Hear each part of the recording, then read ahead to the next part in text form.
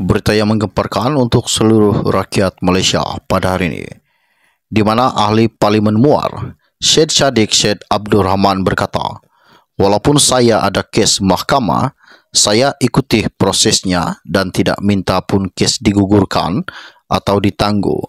Kes sudah selesai kurang dari satu tahun apabila tiba kes pemimpin lain dalam masa hampir lima tahun.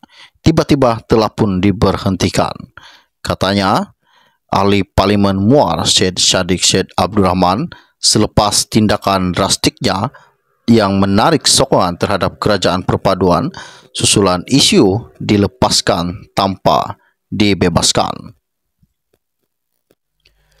Ahli Parlimen Muar Syed Sadiq Syed Abdul Rahman dilihat berseorangan tanpa diapit ahli-ahli parlimen lain di Dewan Rakyat setelah kerusinya dipindahkan ke blok pembangkang di bahagian belakang.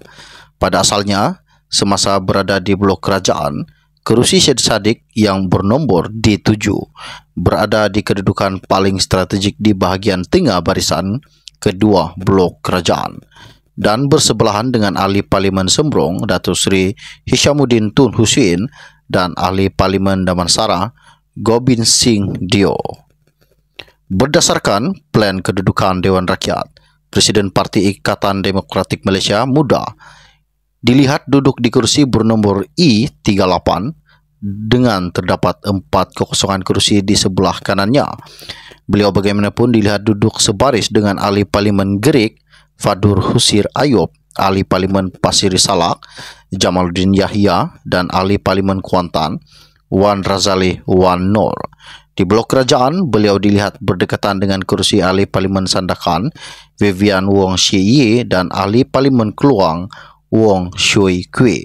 Semalam yang dipertuah Dewan Rakyat, Tan Sri Johari Abdul berkata, Syed Sadiq akan ditempatkan di blok pembangkang pada persidangan Dewan Rakyat bermula pada hari ini, susulan keputusannya untuk menarik sokongan terhadap kerajaan perpaduan.